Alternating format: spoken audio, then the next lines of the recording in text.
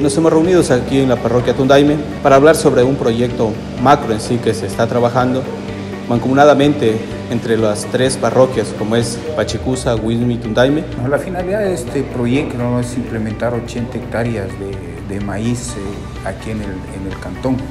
Con estas 80 hectáreas podemos demostrar una verdadera reactivación económica a los productores que sinceramente se han visto bien afectados por este tema de la pandemia. Estamos enfocados en eso y se mantuvo ya una socialización del proyecto en sí proyecto bien importante donde se llegaron acuerdos y compromisos más que todo. Agrosachín ha tomado las riendas de este proyecto, ¿no? donde va a ser una, como una unidad ejecutora. Yo creo que a más tardar hasta agosto estaríamos ya con la puesta en marcha de este proyecto. Queremos reactivar de manera práctica y rápida el tema económico, entonces estamos dedicados a eso y tenemos conocimientos que aquí en la parroquia y en las parroquias que que nos hemos reunido eh, podemos producir eh, lo que es de maíz.